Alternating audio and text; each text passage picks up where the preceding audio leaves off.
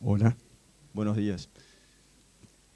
Eh, la verdad que es un gusto estar acá. Eh, muchas gracias a la, eh, a la, invitación del Plan Agropecuario y de la Facultad de Agronomía que confiaron en, lo que uno pueda exponer este, o en la experiencia que, hemos realizado en los grupos lecheros de Conaprole.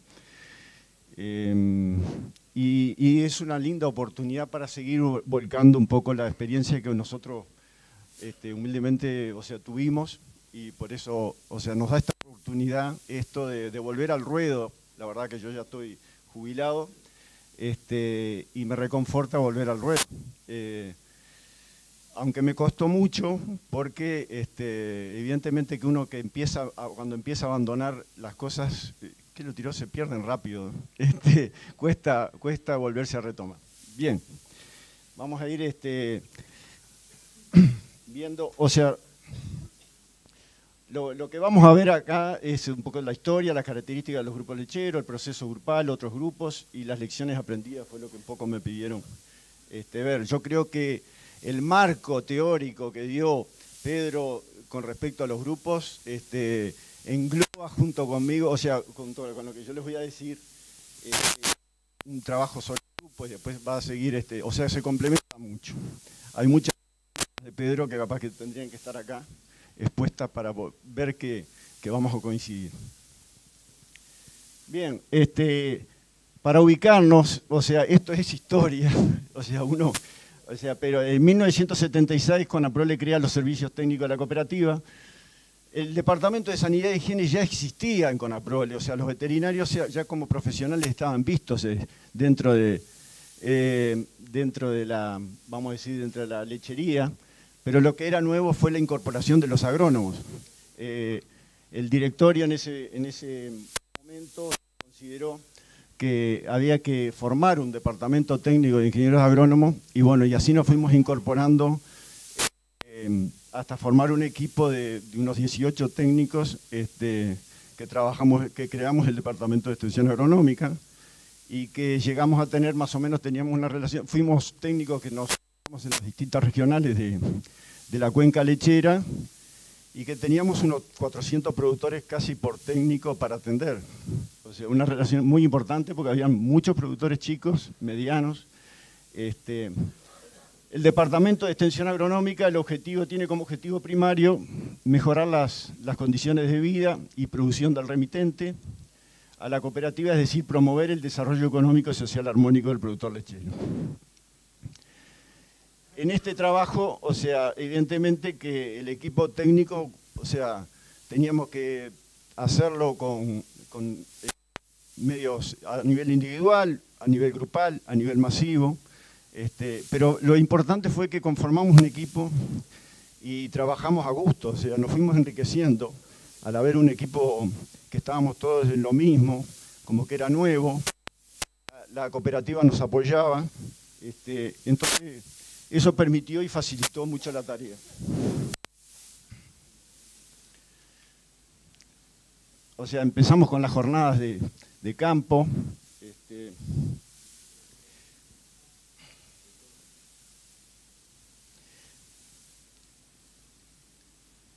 como forma de, ampliar la capacidad de difusión e innovación tecnológica, desde 1978 el trabajo en grupo se promueve y adquirió un desarrollo significativo en la, década siguiente. Es, este, importante ubicarnos en la época. Este, en la década del 80 o sea, había, necesidad, o sea, había ganas de juntarse. Este, y nosotros como, servicio técnico teníamos todo un paquete técnico que, que transferir en la cuenca lechera que o sea, había tarea. Había que implementar las pasturas, el manejo de pasturas, los, verdeos de verano, el uso estratégico de la ración, la calidad de leche, el transporte. Este, entonces fue un proceso muy dinámico, pero también muy activo.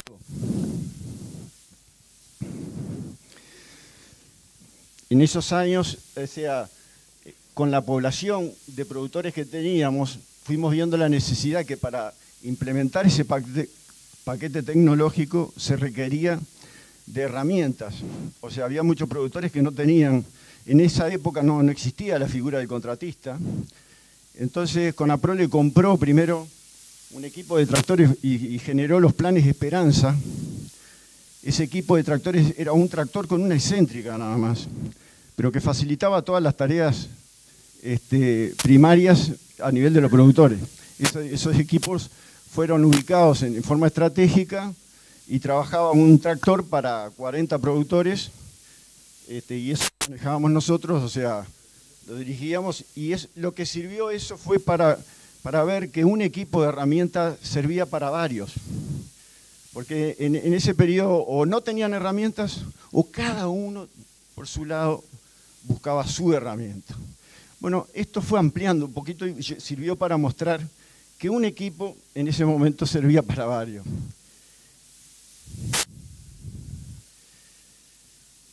Entonces, eso fue un poquito eh, parte del trabajo, pero a su vez, este, la cooperativa en el año 85 paga un sobreprecio por la leche que remiten los productores y que ayudó al fomento de los, de los grupos. ¿no?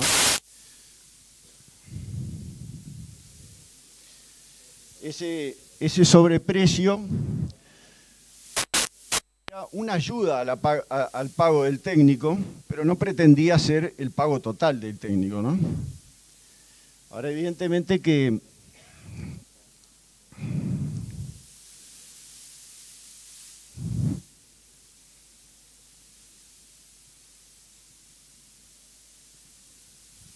que las, o sea, una, uno de los objetivos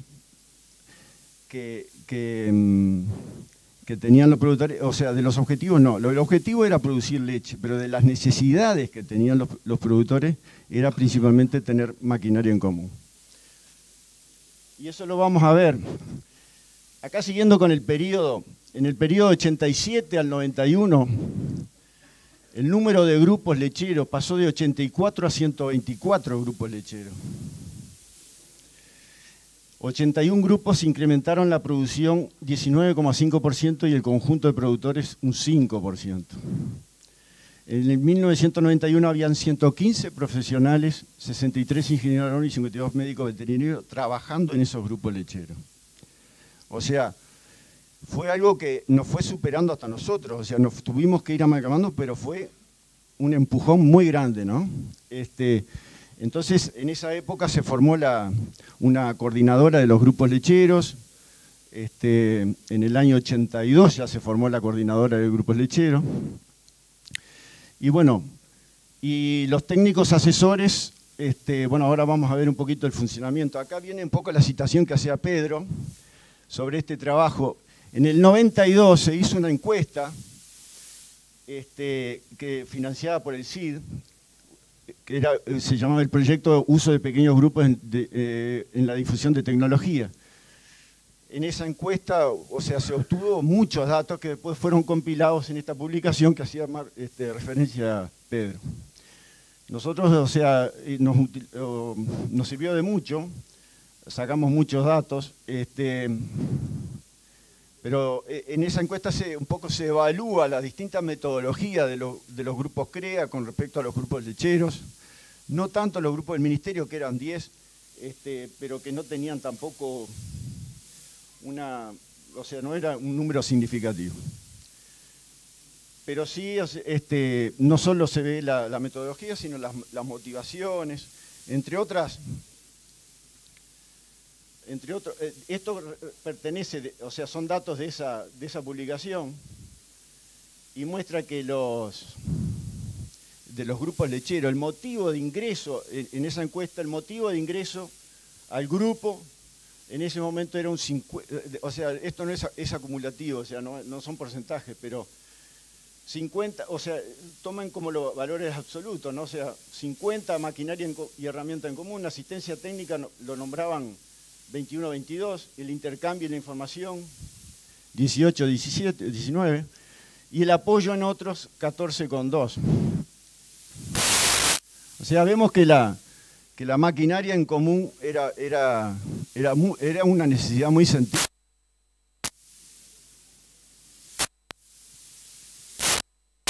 Cuando la pregunta era los motivos para continuar en el grupo, la maquinaria, esto fue, o sea, en el mismo momento, o sea, contestaba lo mismo, pero vemos que el intercambio de la información y el apoyo en otros suben un poco y baja un poco la asistencia técnica, y eso yo creo que nos muestra lo que es la valoración del grupo como ser social de la gente. Todo grupo, sea productivo o no, nos aportan eso. Nos aportan información, nos aportan intercambio, nos aporta el otro. Y ahí más, o sea, lo valoraba más la gente.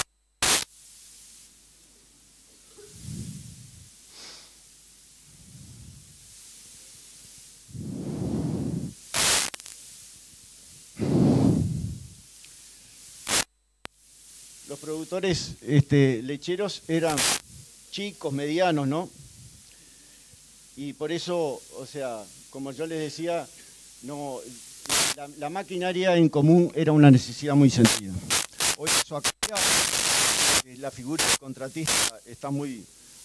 y no hay tantos productores chicos, hay mucho menos productores lecheros y menos los productores.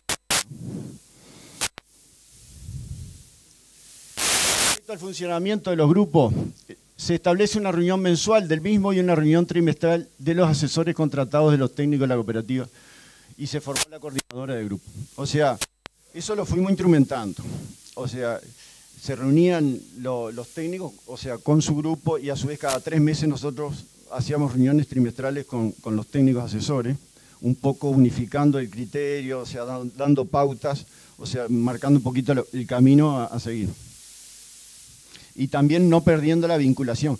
Ahora, todo esto, ¿por qué, fue, por qué utilizamos el hecho de, incorporar técnicos a los grupos? O sea, un poco para nosotros quedar más libres para trabajar con el resto de la población. O sea, el grupo lo que nos permitía era poner más técnicos y poner, tener más tiempo para trabajar con el resto de la población. Los lecheros están compuestos exclusivamente por remitentes a Conaprole ubicados geográficamente. O sea, esa un poco es la fortaleza y la facilidad, lo, que teníamos, bueno, o sea, que había una institución que era Conaprole, que todos estaban bajo el mismo techo, que todos estaban en la producción lechera y que todos estaban ubicados cercanos geográficamente. En un principio estos grupos no tienen un modelo de funcionamiento. Cada grupo tenía como un trabajo, un plan propio, ¿no?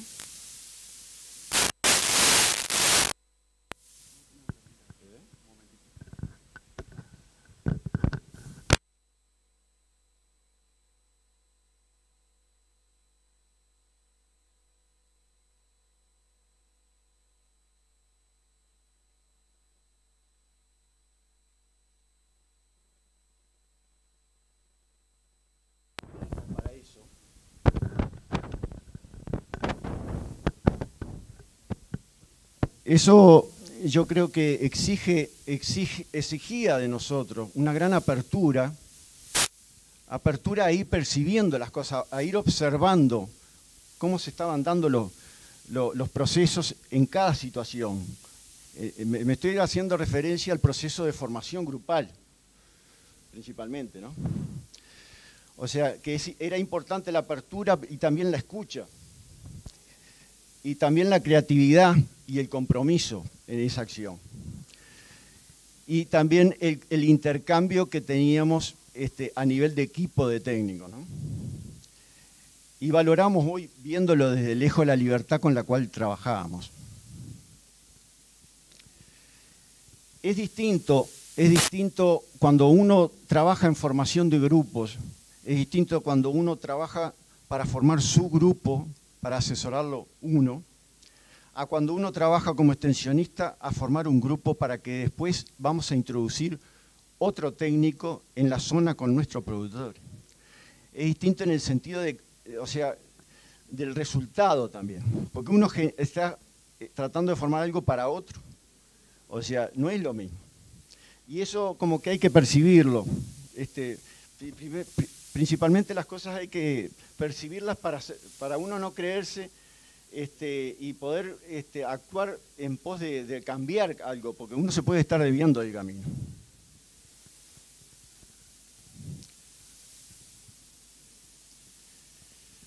En ese proceso, después se fue uniformizando la planificación de la reunión, el orden del día, la adjudicación de roles,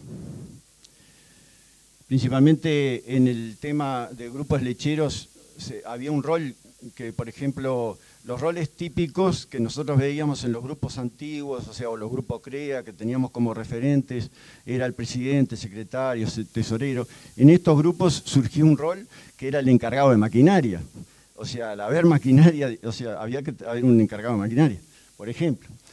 Este, y bueno, es importante en la parte de adjudicación de roles que esos roles eh, roten, que no se estabilicen por siempre, este, porque el hecho de rotar los roles dentro de un grupo permite ir visualizando este, cualidades dentro de la gente eh, que no teníamos, capaz que estaban escondidas, ¿no? Y la gente se va desarrollando, que es en sí el, el producto del grupo.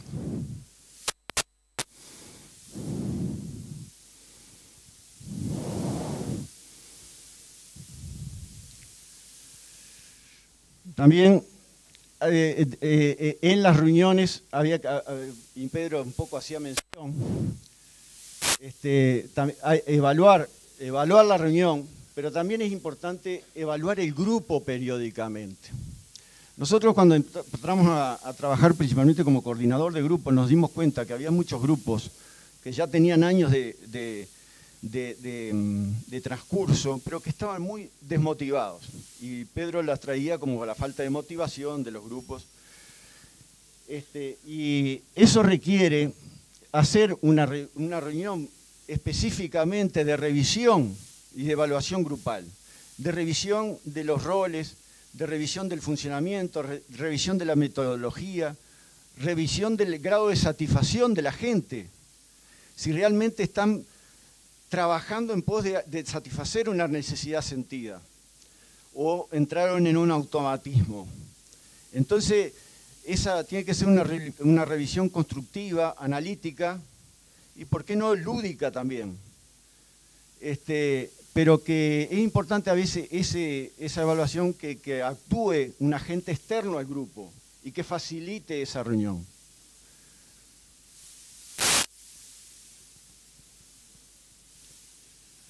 El proceso grupal, cómo se gesta un grupo. Un grupo se gesta con, individuos que, tienen una necesidad común y se van juntando, y los vamos juntando. En nuestro caso, con productores muy similares, muy cercanos geográficamente, como les decía, muy hecho y la misma producción o sea, bajo la cooperativa de Conaprole y en la producción. Eso fortalece. Pero también nos enfrentamos con ciertas cosas de las cuales muchas traía Pedro. El individualismo, incertidumbres, prejuicios, miedo a lo desconocido, a la exposición, a la crítica, al qué dirán, a la desconfianza, o sea, desconfianza. Y todos quienes hemos actuado o sea, quizá tengamos experiencia de visualizar estos miedos, estas desconfianzas. Por ejemplo, yo voy a traer algunas experiencias, estábamos formando un grupo en una zona donde la necesidad era maquinaria en común, y si estábamos a las reuniones, conversábamos de qué podríamos comprar, tractor, excéntrica, teníamos que actuar frente al banco, o sea, no era fácil porque había que crédito. Y bueno, pasaba una reunión, pasaba otra. Un momento que no avanzábamos. Se decía que sí, volvíamos a la próxima reunión y no avanzábamos. ¿Qué estaba pasando? Resulta que, digo, a la próxima reunión vengan ustedes con las mujeres, con las señoras.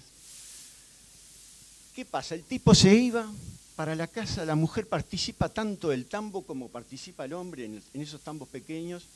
Y claro, la mujer al no estar informada, porque en esa época citamos los y los que iban eran los hombres, las mujeres quizás nosotros tampoco hacíamos tanto hincapié, hoy ya se está teniendo más en cuenta el género, este, pero la mujer siempre estaba en la casa realmente porque no iba y desconfía. y eso es real, es, lógico, digo. Bueno, hice presión para, para, que vinieran, asistieran las mujeres a las reuniones. Este, se hizo la reunión, hubo una pareja que en ese momento desistió del grupo, desistió, y por suerte desistió, porque después de comprar en junto, junto o después de entrar al banco, hacer garantía uno junto con otro, hubiera sido peor. Entonces las cosas tienen que llevar un proceso. Y bueno, se dio ese proceso, o sea, compraron entre 13 un, tractor con excéntrica, este, y todo frente al banco. Hubo una pareja que decidió, pero ese grupo después siempre siguió integrada a la mujer. Tanto es así que después volvimos a hacer algunos cursos de producción de conservas de alimentos para las mujeres. Este, por ejemplo, en otro grupo estábamos en una instancia de capacitación, este, la cual eh, era en Mangangá, eh, un era un curso de producción de carne. Teníamos, íbamos a tener clase todas las semanas, yo no conocía a los productores, pero me había propuesto que en cada clase iba, que duraba cuatro horas, yo iba a decir, no, voy a hacer dos horas de clase y dos horas afuera. En la primera clase, o sea, propuse ya este, salir al campo y quién ofrece el, predio para ir a ver. Y la verdad que todo el mundo para atrás fue bastante difícil ubicar un predio, o sea, para poder asistir. La segunda vez también. las últimas clases decían, a mi casa todavía no han ido. Este, digo, ya, o sea, perdieron el miedo de que uno no iba a criticar, uno iba a construir, ayudarlos a construir y aparte ayudar a aprender, a, ver. Este, y esa es parte de la confianza que hay que ir ganando, vamos a decir. Pero son hábitos que nosotros como técnicos también los tenemos que generar, los tenemos que observar, percibir. Y esa capacidad de observar, de percibimiento, a veces no es natural, la tenemos que cultivar. O sea, tenemos que capacitarnos también. A veces yo encuentro, veo los técnicos, o sea, es bueno los técnicos sociales, sí, sociales sí, pero también capacitados, capacitados para observar, para proponer y después para conducir también de alguna forma lo, este, lo que es necesario en ese grupo, en, ese, en esos productores. Eh, eh, en ese proceso grupal este, el sentido, hay un tiene que después se alcanza un sentido de pertenencia es cuando ya hay confianza hay este hay menos resistencias a los cambios o sea proceso y siempre es un proceso dinámico todos los grupos son procesos dinámicos y como toda vida dinámica también tiene un fin en algún momento se acaba. Esto fue con Aprole, o sea, posterior a esos grupos, en, 1900 se desmanteló el Departamento de Extensión, eh, en 2004 se crea la BONAT, que es este, la bonificación por asistencia técnica y planificación, que es, o sea, una planificación semestral que, o sea, pasa de la, con Aprole, pasa de la bonificación a los grupos a bonificar el técnico. O sea, ya no prioriza el grupo, prioriza la información que le pueden brindar los técnicos y en el 2010 crea el apoyo a gestión lechera y la producción competitiva, que ya no, es solo una, generación de información semestral, sino que la exige mensual. A decir de, uno de los técnicos que, un poco qué estaban, yo no estoy con la prole, este, hoy por la información que no es cuantificable no, se, no se conversa también debe haber algo este, que también que el promover la participación y el promover los grupos es riesgoso, porque uno motiva a la gente y a veces molesta que la gente después cuestione. O sea, uno ayuda a desarrollar gente con los grupos. Este, y uno es riesgoso. Y eso hay que enfrentarlo, ¿no?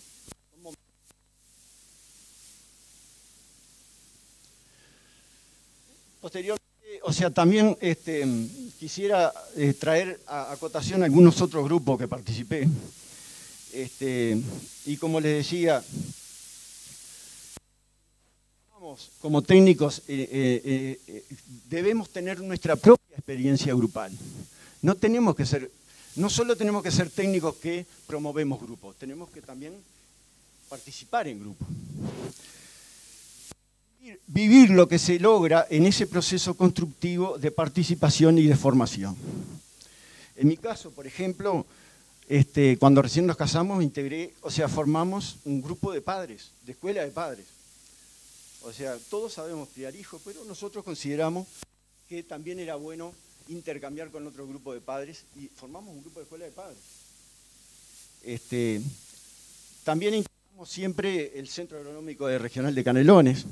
Y así como también es importante, es también importante la capacitación, ya sea en psicología social, la capacitación en comunicación o en el, o en el área técnica en el cual nos Evidentemente que hoy la realidad es otra, hay otras, las redes sociales, el WhatsApp, o sea, no, era la realidad de aquel momento. En ese momento también formamos una consultora de principalmente en el tema granja, y actuamos en el medio, medio rural en capacitación ante MEVIR, DINAE, JUNAE y después ante el INEFOP. Y yo creo que las instancias de capacitación son muy valederas para promover los emprendimientos asociativos, o sea. Este, si realmente nos, interesa, ¿no? O sea, este, también em, trabajamos, este, formamos, en esa consultora trabajamos ante el PEREDEC y el Ministerio, teníamos una consultora con 15 técnicos, con 15 grupos, este, y que fue una, linda experiencia, o sea, pero evidentemente que se acaban los proyectos y después se acaba un poco el apoyo a la consultora. Y eso ha sido lo que ha pasado con un poco con los proyectos del ministerio. O sea que las lecciones aprendidas, el instrumento grupal tiene un efectivo impacto en distintos aspectos. Renueva formas de aprendizaje, de comunicación y de vínculos donde todos tenemos algo que aportar. Todos tenemos algo que aportar. Induce los procesos de cambio y especialmente a nivel personal, desarrolla la autoestima, facilita la inserción social, genera protagonismo y compromisos.